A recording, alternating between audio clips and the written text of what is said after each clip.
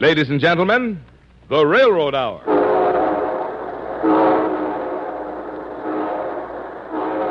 And here comes our star studded show train.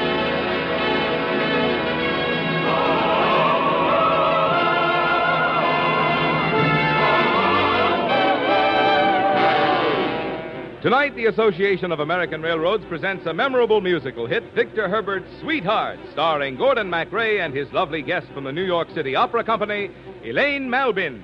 Our choir is under the direction of Norman Luboff, and our music is prepared and conducted by Carmen Dragon. Yes, tonight another great musical success is brought to you by the American Railroads, the same railroads that bring you the food you eat, the clothes you wear, the fuel you burn, and the multitude of other things you use in your daily life. And now, here is our star, Gordon MacRae.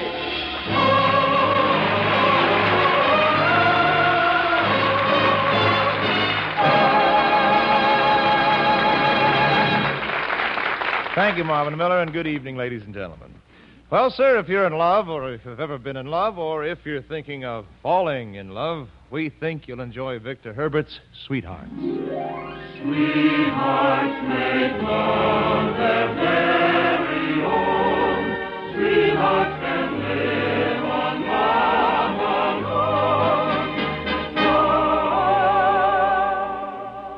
charming Elaine Malbin is here to play Sylvia. My name is Franz, and the story begins with a bevy of beautiful girls in the fabulous laundry of the White Geese. All we do the day through is iron, iron, iron, iron. There are things we'd rather do, but we must iron, iron.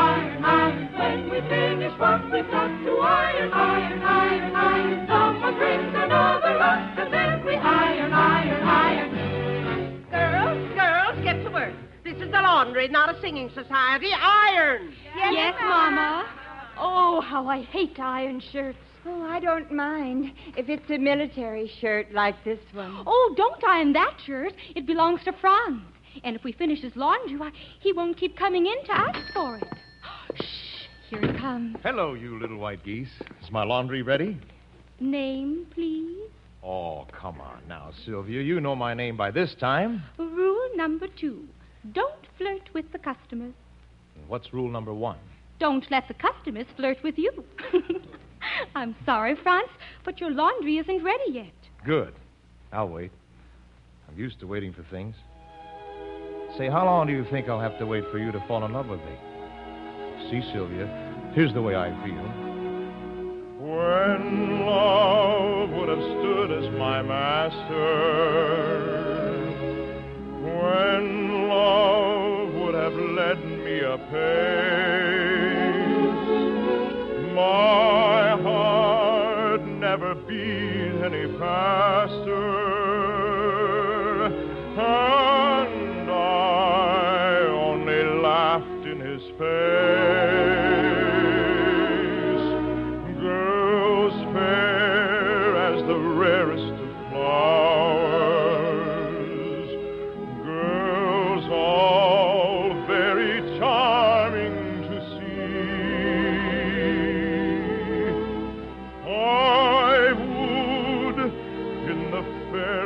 fairest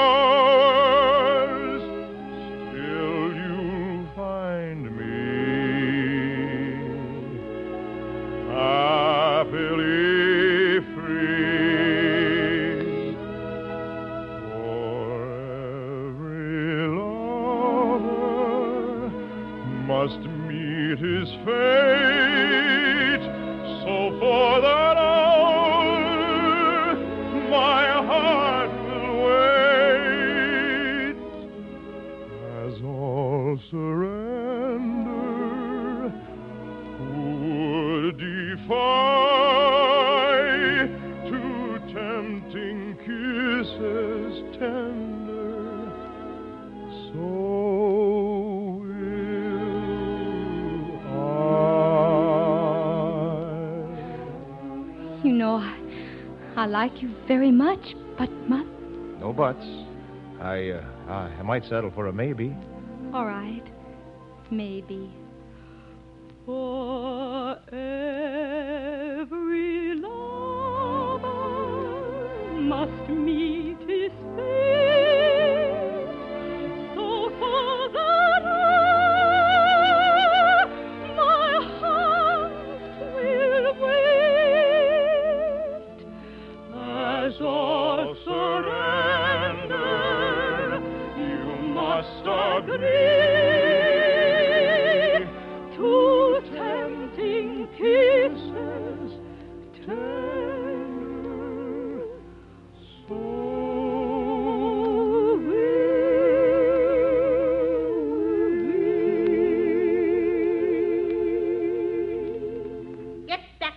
don't let me catch you chit-chatting with a uniform. Yes, Mother. My dear madam, what do you have against a uniform? I married one. But he ran off and left me with seven daughters, the bum. Now go away. Go away. I've got work to do. Okay, if that's the way you feel. I uh, beg your pardon, sir. Can you direct me to the laundry of the White? Your Highness! Shh. Nobody around here knows I'm the Crown Prince of Zelania. Mikel! Nobody around here knows I'm the Prime Minister of Zelania. Mikel, what are you doing here? I lost control of the government.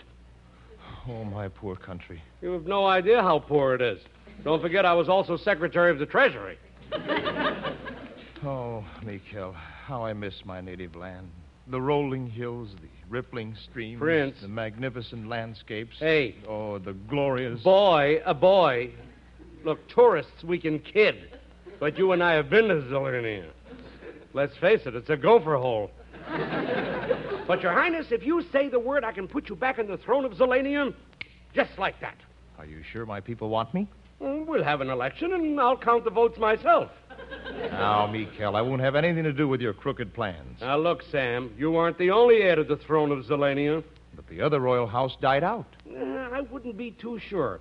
You know, 20 years ago, I slipped out of the country with a female heir, and I left the baby beside this laundry. Now, if there's a pretty girl in there in her early 20s, uh, you know. what are you laughing at? Go on in. Have you a surprise coming? All right, I will. Is there a pretty girl in here in her early 20s? Oh, yes, yes. Here I am. Hmm, I never had astigmatism this good. Uh, t- tell me, uh, do you all belong to one family? Yes. They call us the little white geese. Well, quack, quack. uh, look, um, is uh, one of you an adopted daughter? Yes. But Mother never told us which one was adopted. Well, I guess I'll have to hang around here until I find out. Now, um, none of you girls are married, I hope. Oh, no. We can't get married because we wear wooden shoes. Well, naturally, you wear wo- wooden shoes. You can't get married. There must be something my father didn't tell me. I guess you don't know the legend of Jeanette and her wooden shoes. Enlighten me, child. I'm listening all over. The lively Jeanette For fame, for frivolity, was brightly coquette, who lived just for jollity, had plenty of suitors, had only to choose, and being a Dutch girl, she wore wooden shoes. She stole out at night, all the town knew the news when they heard the pit-patter of her wooden shoes. Then the lads half asleep, oh, how jealous they get, and they say to themselves, who is out with Jeanette? Jeanette, Jeanette, who is out with Jeanette? Lippity-clop, clop, over you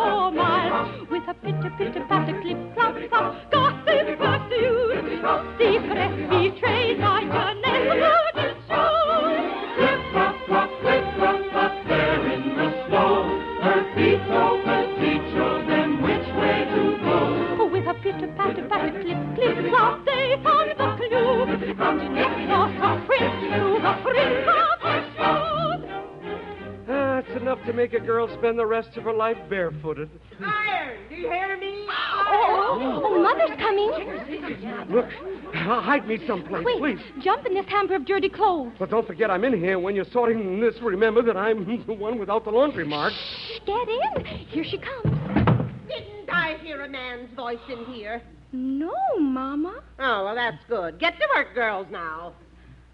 Girls, I think that man in the clothes hamper is Papa. Papa? Hey, Sylvia. Are you back again, Franz? Your laundry isn't ready yet. Oh, I'm looking for something you can't wrap up in a package and tie with a string. What's that? As if I didn't know. Well, it's something you can never find by looking for it. All of a sudden, you glance around, and there it is, right out of your own back window. You're right, Franz. Hmm. If you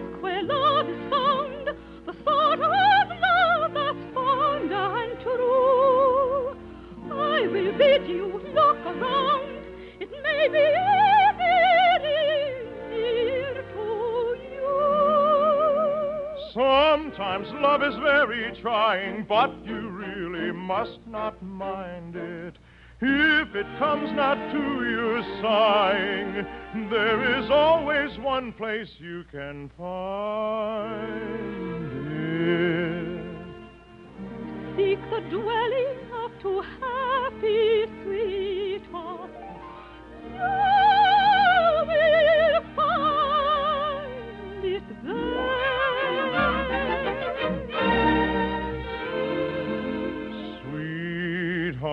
Sweethearts make love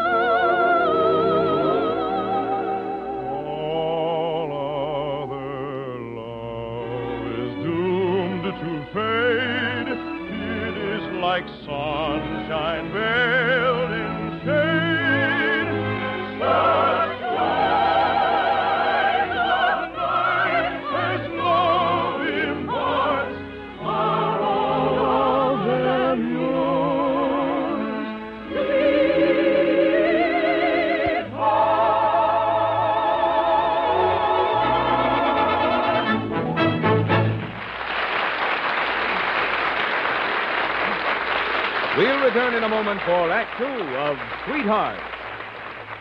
Have you ever been in a laboratory tests are followed by field tests? Tests on products as varied as fresh beef, automobile windshields, furniture, grain, and radio sets. And all this study of packing and shipping methods is just part of the research activity being carried on to help your railroads do a still better job of bringing things to you. For research goes on constantly in rails, ties, roadbed, engines, cars, machinery, signals, yards, terminals, in just about every part of railroad equipment, facilities, and operation. Yes, the partnership between railroads and research is close and continuing, designed to keep America's number one form of transportation constantly in tune with the transportation needs of the nation's commerce and defense.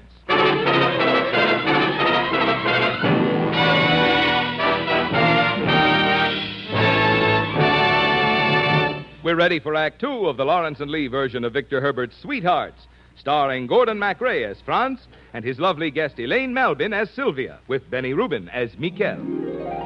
Sweethearts make love their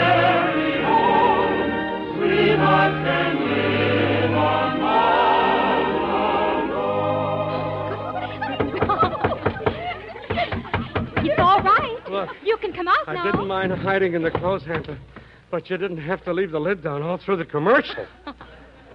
We know who you are. Papa?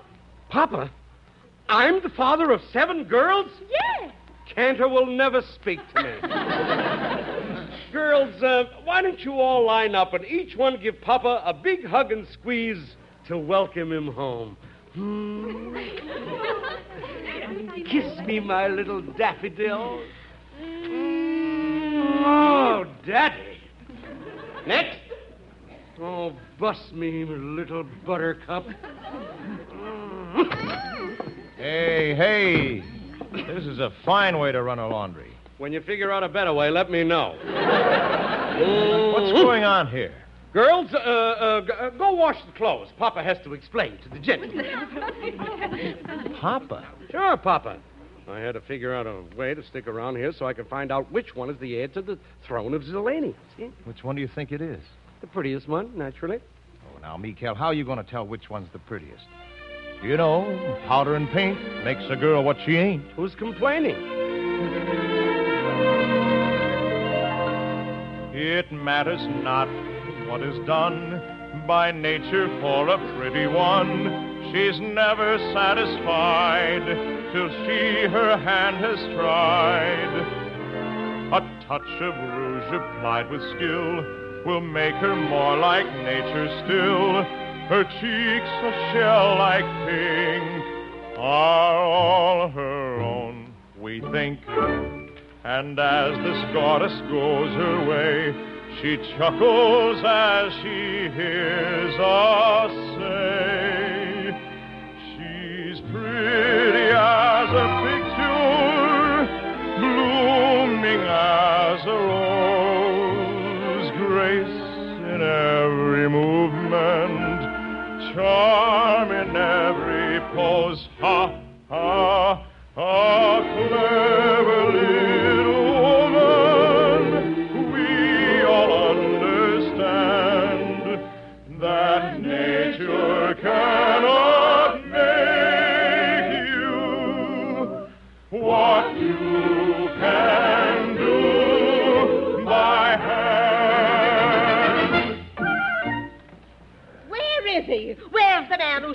be my husband? Is this big laundry bag Mama?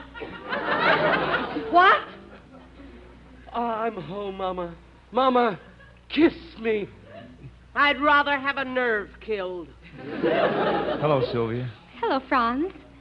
Still waiting for your laundry? What else? Uh, uh, go away, Your Highness. I, I mean, uh, no, no. Your, no. your Highness. Franz, why did he call you Your Highness? Well, Sylvia, you may as well know the truth. I'm really the Crown Prince of Zelania. Oh, oh Yeah. oh, Your Highness. Oh, what difference does it make? Oh, a plain girl in a laundry can't marry a prince. Would you marry me? Would you really? I can't ever marry you now. Sylvia! Sylvia, come back!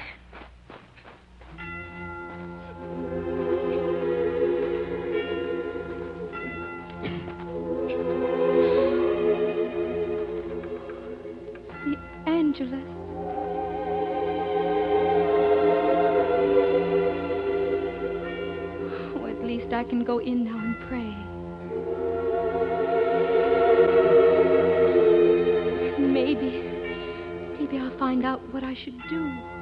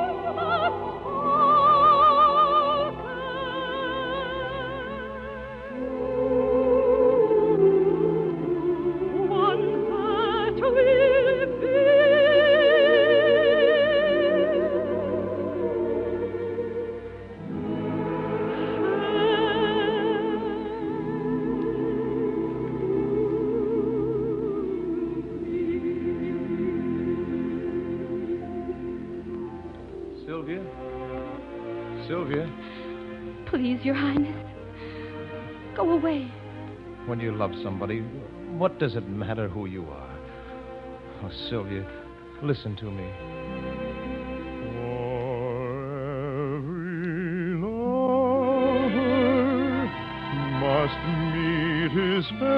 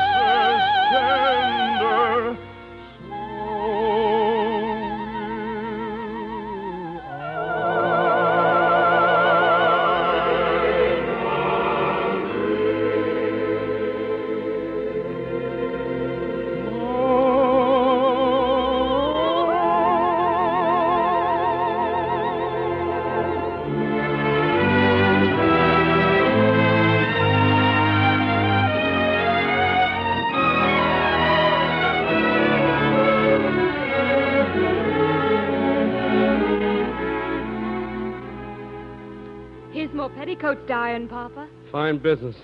The leading politician of Zelania pressing ruffles in the petticoat. Iron!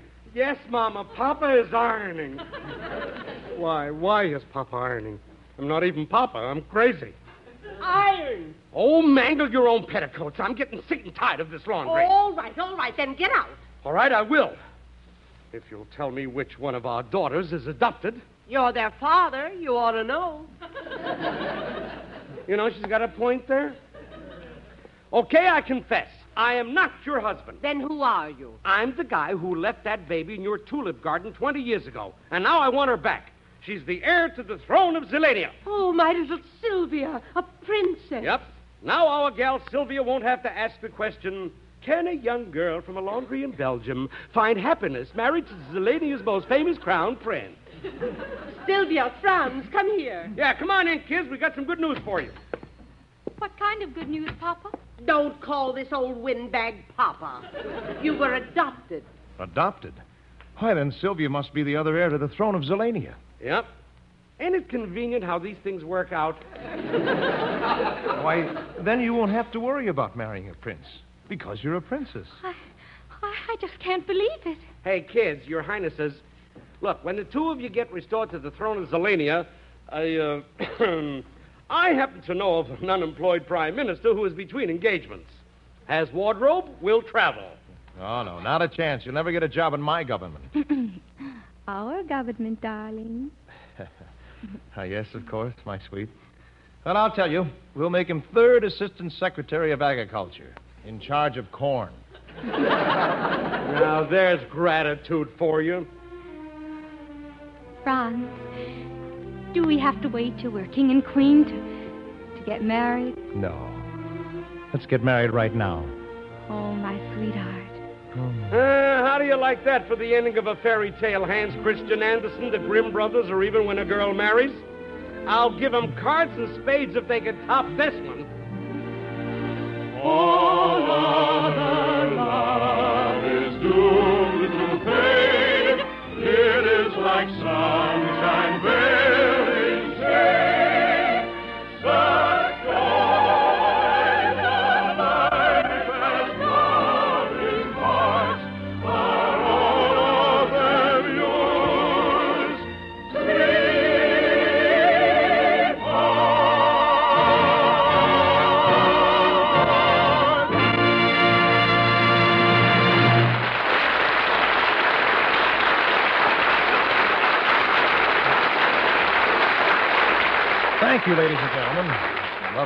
Malbin will be back in just one moment. And meanwhile, our thanks to Benny Rubin, who was Mikel, to Verna Felton, Isabel Jewell, Julie Bennett, and to our entire company.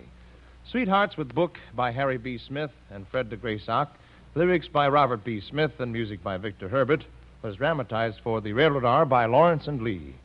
The Railroad Hour is brought to you each week at this same time by the American Railroads. Marvin? For many of you, a reunion at home means a long journey before you get to the heartwarming welcome of your family and friends. And such a journey frequently involves the many hazards of winter weather with its icy roads and stormy skies. So if you're going home this Christmas, take the train.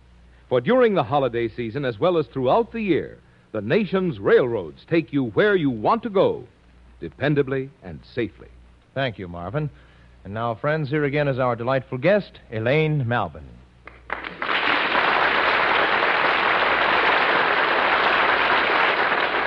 It was great fun being with you tonight, Gordon. I love the music, and I was enchanted with the story. Well, it all goes to prove, Elaine, that you never know what comes out in the wash. What's on the show train next Monday night, Gordon? We'd be delighted to give you one small hint. Listen.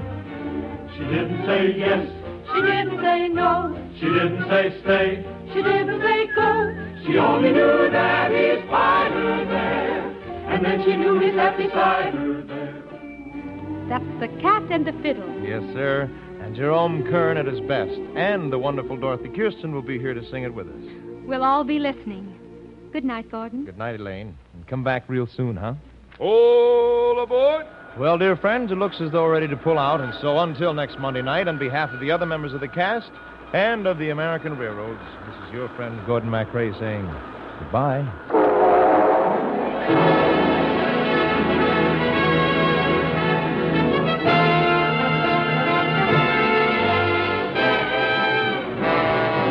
Sweethearts was presented by special arrangement with the Tams Witmark Music Library. Gordon MacRae will soon be seen in Three Sailors and a Girl in Technicolor. Our choir is under the direction of Norman Luboff, and our music is prepared and conducted by Carmen Dragon. This is Marvin Miller saying goodbye until next week for the American Railroads and reminding you that Christmas seals are bullets in the war against tuberculosis. This year, when you mail your gifts and cards, you can help defeat this dread disease by using as many Christmas seals as possible. And now, stay tuned for your Monday night of music on NBC.